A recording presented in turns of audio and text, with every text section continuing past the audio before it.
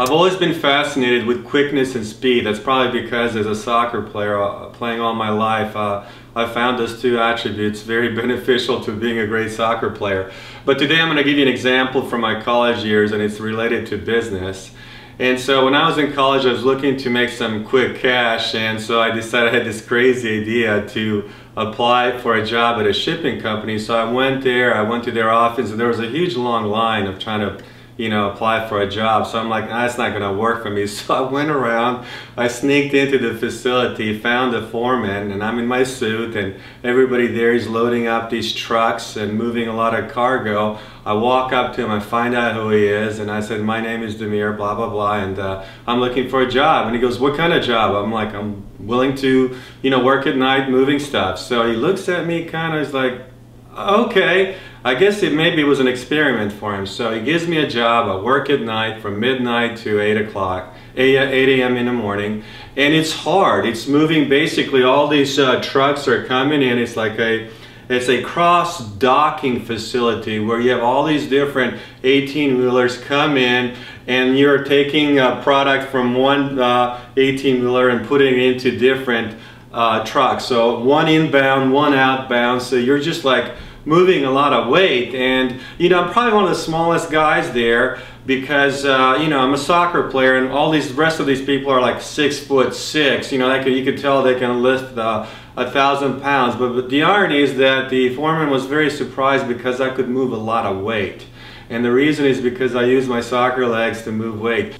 So what we're gonna do is we're gonna use an example from my college years on how to show you how warp speed startup strategies can increase uh, any operation of the business, whether it's in engineering or operations, logistics, you name it. But and how we're going to start is we're going to just basically draw a quadrant. Okay? And this quadrant, I'm going to do it really quickly, is going to have hopefully seven trucks here, okay? So one, two, three, four, five, six, seven. Okay, so truck one is here, truck two is here, truck three, truck four, truck five, truck six, and truck seven. And so on this side, you're gonna have on the y-axis is all these different trucks are coming at the same time.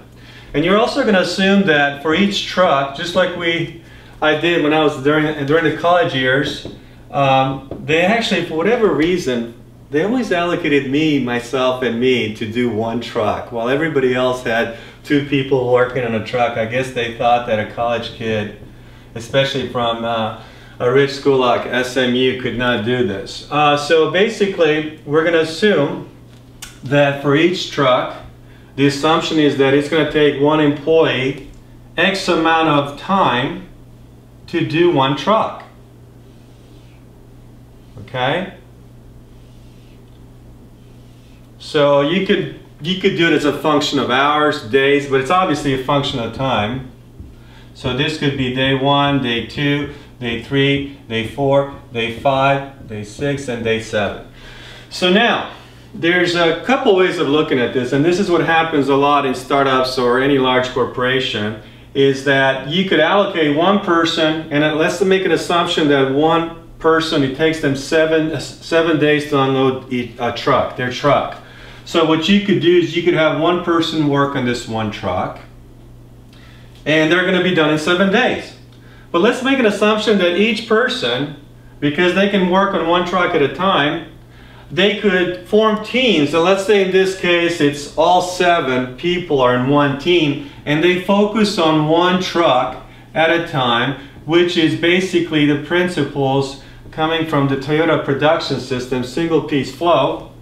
And so each, each team, in this case it's the team of all seven, focuses on unloading the first truck, which means that it's done in day one, unloading the second truck, which is day two, third, day three, and so on, okay? So basically what happens here is that day seven, the team of seven employees is unloading the seventh truck, which took the same amount of time as if the seventh employee would have done it themselves.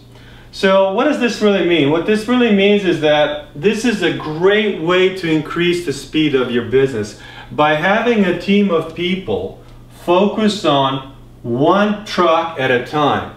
And now you can change this truck to a product. Okay? And as a startup, obviously you're not, most likely, are not going to have seven products you're trying to develop at the same time. But there's always an issue of X amount of products you want to put out into the market. In fact, the quickest way to market is to focus on one product. The problem sometimes is that you don't know which of the seven products you should focus on. So this is really a case of maybe you have the entire team of seven people focus on one product and then as you put that one out, you focus on the second one. Here are the benefits of this, okay? If you take this concept and you take the seven people, a couple of things happens. First of all, co-location is critical, okay? So basically, you get a bunch of people in one room and you let them work really hard, okay?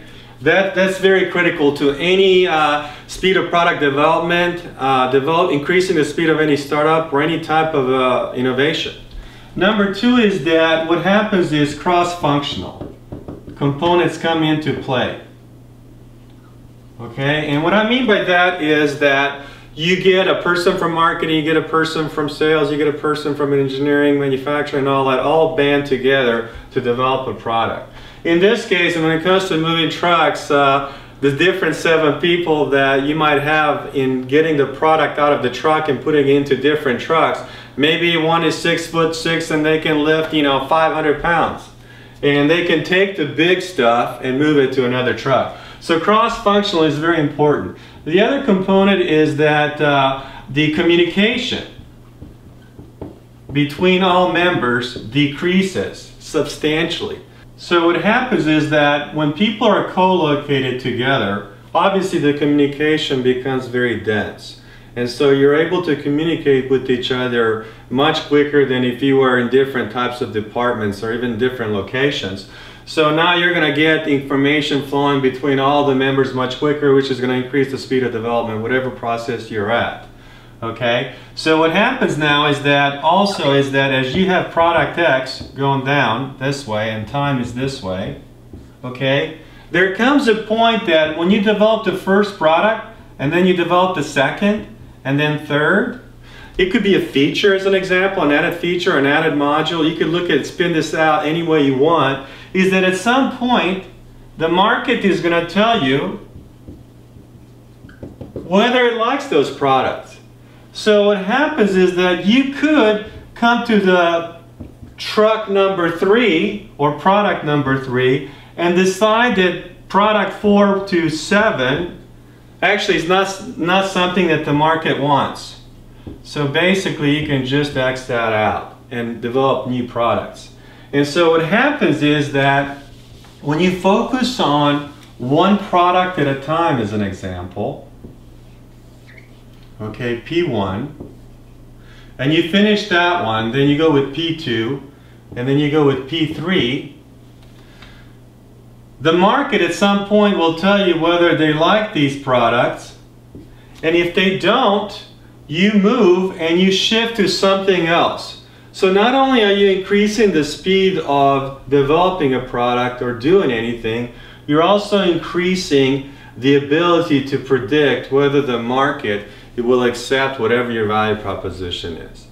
This looks simple, and I can tell you that having invested into a lot of companies myself and started a lot of companies, that it's not done as often as you think. And all this really comes back from the Toyota production principle, which is single piece flow between different processes.